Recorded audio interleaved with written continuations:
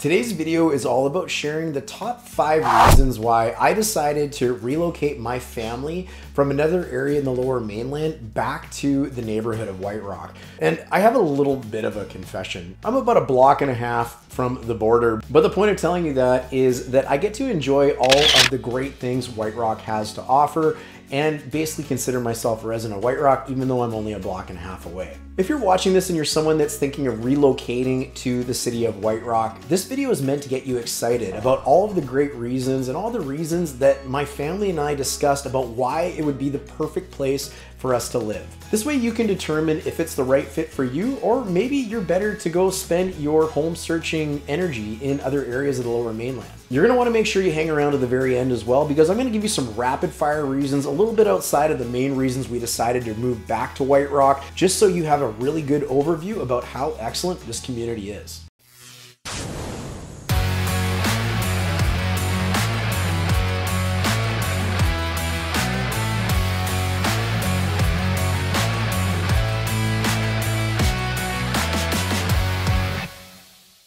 Hey, my name's Darren, team lead with the Germyn group with Macdonald Realty and a Surrey and White Rock resident. If this is your first time on the channel and you want to know everything there is to know about living in either Surrey, South Surrey, or White Rock, be sure to hit the subscribe button and the bell so you get notified every time we release a video on the area so you're the first to know about what's going on locally. We get calls and texts every single day from people just like you looking to relocate to the area and we absolutely love getting them. This means that if you're looking to make a move in the next 9 days, 90 days, or 9 months from now, be sure to hit us up and send us an email, send us a text, or give us a phone call and we'll do everything we can to help make your relocation to the area a smooth one. Maybe you're somebody that lives out of town and you're doing all of the right things trying to figure out what the best community community for your next home might be. You're spending tons of time on the internet, whether you're Googling all these different places and searching and scouring the internet for just all of the information that you feel that you need to make a really good decision. There's a million websites out there and there's a million things to consider when you're making a move. I was lucky enough to grow up in the South Surrey and White Rock neighborhood. There's a little pocket of the area called Ocean Park where I spent the majority of my childhood up until I was about 19 years old when my parents finally moved. Thus, I had to move with them because it was too expensive to move out at that time. I didn't have enough money, but I never really quite understood how amazing the community was that we lived in at the time. I didn't really appreciate it. I kind of thought every community was was really like that. Fast forward after I did some traveling in my early 20s, I actually ended up buying my first home in an area called North Delta no shade on North Delta. You know, it's a beautiful area and we really enjoyed living there, but it's not South Surrey, it's not White Rock. Years ago, about three years ago, during the COVID-19 pandemic, me and my family, we decided to make our move back to South Surrey. This is the place that I chose to raise my family. White Rock or the South Surrey area was always number one on our list. There was never anywhere else that we were even remotely considering because of some of the great things that this community offers. This is the place where I want to call home. And this video, well, we're going to get into the top five reasons about exactly why my wife and I made the decision back when we did. So let's get into it. One of the first things we considered was the schools in the neighborhood. And we actually had a very young family at the time. My firstborn was only three years old. But schools, well, of course, they're really important, especially if you've got a family. And the schools in the South Surrey and White Rock catchments, well, they're not going to disappoint you. Now, this video is directed directly towards White Rock. So let's talk a little bit about the schools that if you do choose to live in the city of White Rock proper that your kids are going to go to. There's only actually two elementary schools in the city of White Rock proper, and this is Peace Arch Elementary and White Rock Elementary. The other schools that residents of White Rock go to are actually located in the city of Surrey, including the secondary schools. White Rock Elementary is a great school. They're known for a few things. As an example, for the 27th consecutive year as of this filming, students from White Rock Elementary have won first place in each of their divisions for both track and field. You've also got Peace Arch Elementary, which has an early French immersion program that brings in people from all over that want their kids to learn how to speak French at an early age. On their website, one of their goals is to improve students' attitudes and dispositions towards mathematics. This is something that they really find important and want to focus on for their K to 7 audience. There's three other elementary schools that you could find your child residing at if you decide to make your move to White Rock. HT Thrift is an older school that backs onto Semiahmoo Secondary School. It's a small school that has multiple playgrounds and a large gravel field. Some of the important things for HT Thrift are school-wide positive behavior support plans, an art club at all grade levels, and an incredible array of extracurricular activities offered like hockey, badminton, volleyball, basketball, track and field, chess club, art club, Lego club, and knitting club. My favorite of the bunch is actually Bay Ridge Elementary, which is the highest rated elementary school in the area in comparison. Bay Ridge Elementary is also a small school, kind of looks like it's out of a storybook,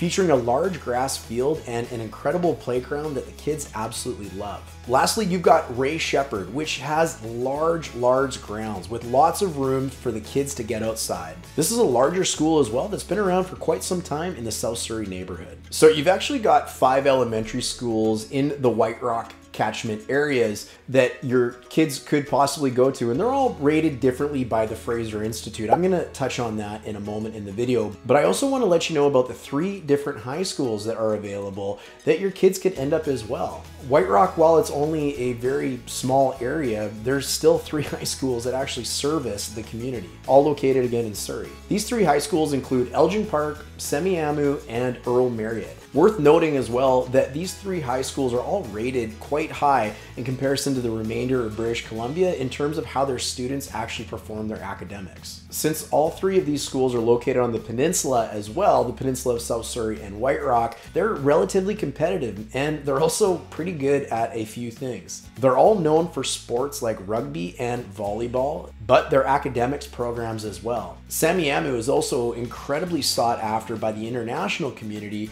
because it offers an international baccalaureate program.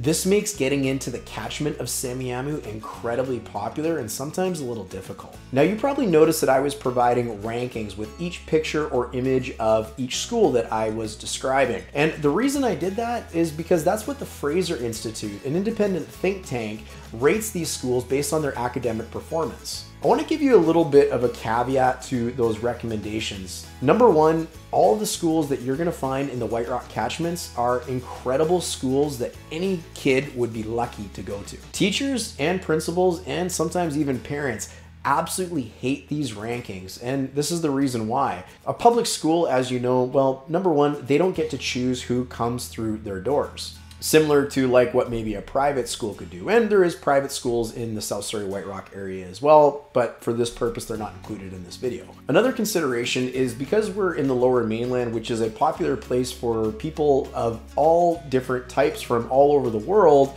sometimes the students that ends up in some of these public schools, well, English isn't their first language. So not only are they trying to learn the curriculum, but they're also trying to learn English at the same time, which sometimes can bring some of these ratings down a little bit. To tie this up a little bit, I feel quite lucky that my kids have the opportunity to go to any of these schools in South Surrey because they're all incredible. The second reason that we decided that White Rock was a place that we wanted to call home is because it's a lot less busy here than other areas of the lower mainland. You see, White Rock is not a pass through city. It's not a city you drive through on your way to another city, like let's say maybe Surrey or Burnaby or New Westminster as an example. All great cities in the lower mainland, but pass through cities. This means you don't have a lot of traffic from outside areas coming into White Rock unless they're coming to visit the beach, which we'll touch on later in this video. As of 2021, Stats Canada reported a population of approximately 21,939 people, which was a growth of only 10% since 2016.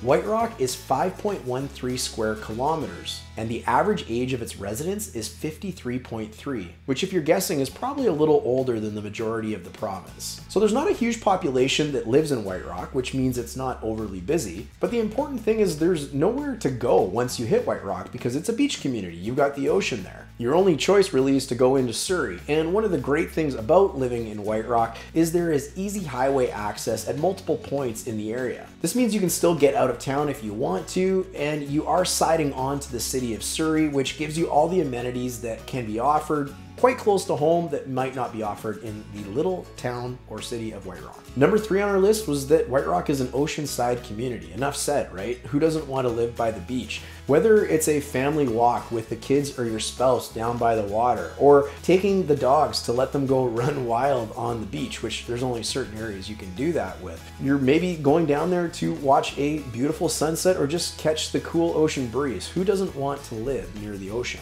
Marine Drive features various shops, restaurants, and of course, treats like ice cream. It can get quite busy in the summer because it's a popular spot for people to come visit from all over the lower mainland. Yet you get a nice trade off in the winter months when the lure of visiting the beach isn't quite as popular. This oceanside community of White Rock is known for a bunch of things. One of the things that's really neat, which unfortunately they don't do anymore, is they used to host epic sandcastle competitions every summer starting in 1979 for about 10 years. There's some really cool pictures of this and just an unbelievable amount of people at White Rock Beach, more than I've ever seen in my lifetime living here, available at the museum archives. Not only is it an oceanside community, but it's also home to Canada's longest pier and the White Rock. Yeah, the city of White Rock has a big white rock sitting on the beach. The fourth reason we decided to move to White Rock was because of the quality of life and just how awesome it is in this area. Now, some of this is gonna fall over onto the Surrey side of the border, but you're so close to all this in White Rock that obviously you get to share some of these amenities. You've got great shopping options through town,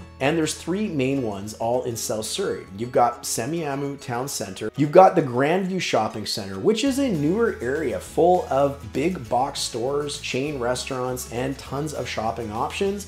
And you also have the South Point area. You've got some little areas around town as well, like the Quiet Ocean Park area, Peninsula Village, and the Five Corners area and Johnston Road area, which is located directly in White Rock. You've got tons of parks to choose from in the area as well. And I'm not talking little parks this full of grass. I'm talking about nice trails to walk, ride your bike, walk the dogs, and just get out in nature. There's Sunnyside Urban Acres, Crescent Park, Elgin Heritage Park along the Nicomekl River, which has a ton of future development coming up in the near future, which you can find all on the City of Surrey's website and Blackie Spit. Again, these are all located in Surrey, but just a short drive from White Rock. When it comes to recreation, you've got everything that you could ever ask for, including the South Surrey Indoor Pool, senior social clubs galore, Grandview Aquatic Center, Surrey Athletic Park, more on that later. So many more, in fact, that we're not going to dive too deep into all the services because that would make for a very long video.